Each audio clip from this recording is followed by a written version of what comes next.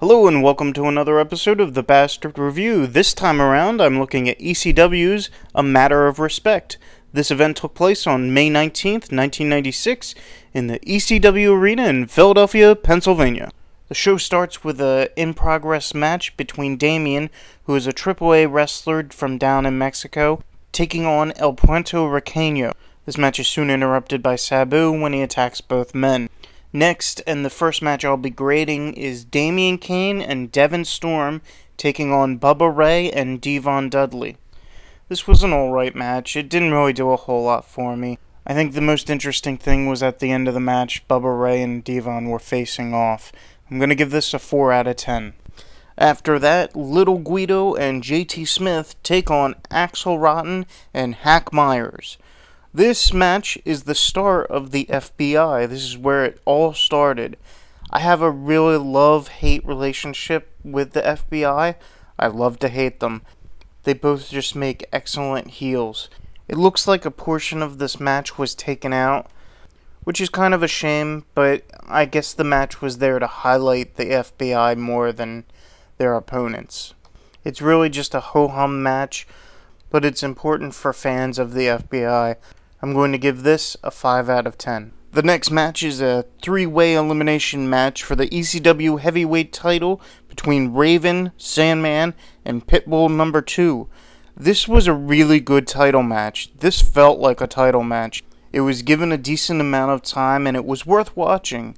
I'd say my only gripe is that the match took too long to begin. It just took too long for all three competitors to get into the ring for the announcements but that's a minor gripe and something I can kind of overlook.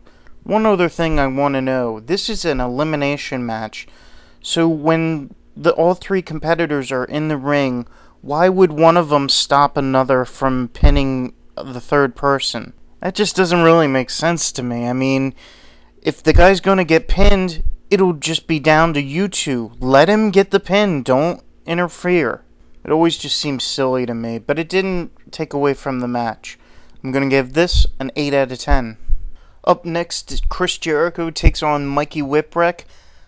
I have to say, I think this is going to be match of the night for me. This was such a great match. You gotta know, if I put this on par with some of the best title matches that I've ever seen, you know it's something worth watching. I'm giving this an 8 out of 10. Up next is Too Cold Scorpio taking on Shane Douglas for the ECW World Television title. Very rarely is there a match that has me out of my seat, hooping and hollering and cheering or jeering the match. Very rarely does it happen.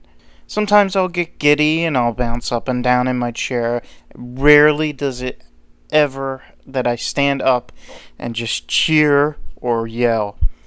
This match had me on my feet.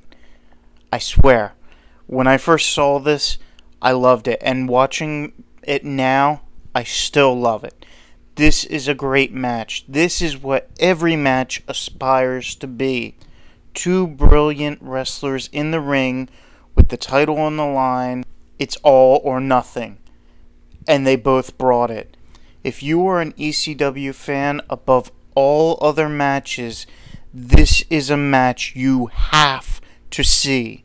You have to. You have to seek it out and find it because it is totally worth watching.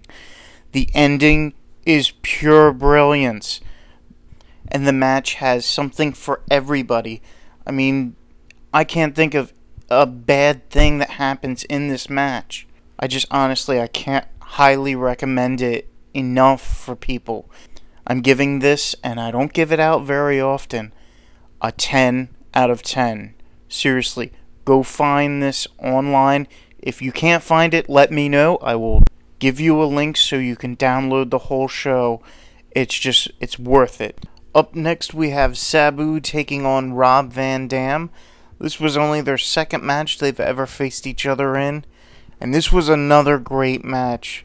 I just the match itself was really great, and the ending was awesome. If you hated Rob Van Dam going into the match, you despised him by the end of the match. Just another great match that you have to see. I'm giving this a 9 out of 10. The final match of the night is Brian Lee and the Eliminators taking on Tommy Dreamer and the Gangstas. Normally, I'm not a fan of six man tags, but this works because it's not a tag match at all. It, it's just a hardcore brawl between six men, and that's not so bad. Kind of a letdown from the previous three or four matches I saw, but you know, a good way to end the show. Made the crowd go away happy, and sometimes that's what you have to do for a show. I'm giving this match a 6 out of 10. Overall, ECW's A Matter of Respect has gained my respect. There are some really great matches on here that you have to check out, and there's very few things that drag this show down. I think if they would have gotten rid of the first match, given us the whole second match, and maybe cut out the beginning of the title match where they're coming down to the ring, I think it, I would have given it a higher rating. I'm giving ECW's A Matter of Respect a 7 out of 10. Thank you for listening, and please tune in again to another Bastard review when I review another wrestling DVD in my collection or anything else that crosses my path.